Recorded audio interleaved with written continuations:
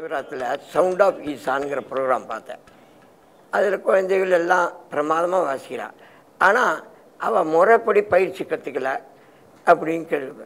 இது எப்படி சாத்தியமாக ஆனால் க மக்களோட மனசை கவர்ந்துக்கிறது. இது எப்படி சாத்தியமானது? இசைன்றது ஆரம்பிச்சப்போ முறைப்படி ஆரம்பிக்கல. மனிதனு இல்லை அவனுடைய ஆனந்தம் வெளிப்படுத்துறதுக்காக ஒரு மாதிரி இசை பண்ணான் அவன் அன்பு வெளிப்படுத்துறதுக்காக ஒரு மாதிரி இசை பண்ணான் இல்லை அவனுடைய துன்பம் வெளிப்படுத்துறதுக்காக ஒரு மாதிரி இசை பண்ணான் பலவிதமாக ஆயிடுச்சு. இப்போ அந்த குயில் எங்கே சங்கீத கிளாஸுக்கு போயிடுச்சு எங்கேயும் போகல அவரே ஏதோ பாடிக்கிறாங்க. புழு பூச்சி கவனிச்சிங்கன்னு அவரே பாடிக்கிறாங்க. தவளை பார்த்தீங்கன்னா நல்லா பாடிக்கிறாங்க. நல்லாவே பாடுவாங்க. அவர் கொஞ்சம் கவனிச்சு பார்த்தா தவளை ஒரே நல்லா பாடுறாங்க. இப்படி தான் வராது.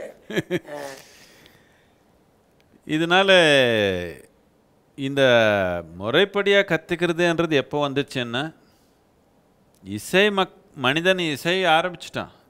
அதுக்கப்புறம் எல்லாருக்கும் சொல்லி கொடுக்கறதுக்கு ஒரு முறை வேணும். கற்றுக்கிறதுக்கு முறை வேண்டாம். சொல்லி கொடுக்கறதுக்கு மட்டும்தான் முறை. இல்லையா?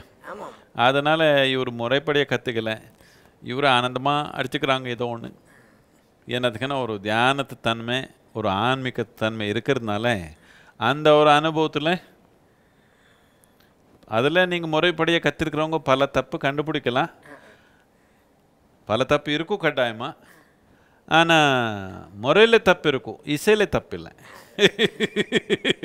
என்னத்துக்குன்னா மக்களுக்கு ஆனந்தமாக இருக்குது கேட்டால் அந்த ஒரே ஒரு நோக்கத்தில் உருவாக்குனா இசை அது.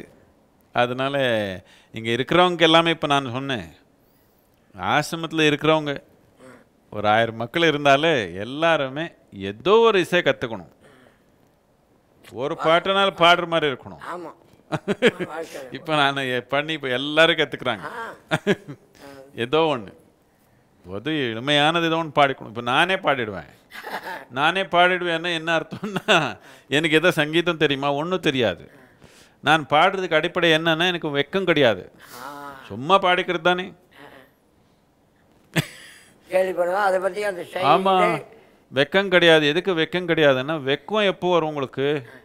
நான் இன்னொருத்தர் அங்கே இருக்கிறப்போ தான் வெக்கம் வரும்.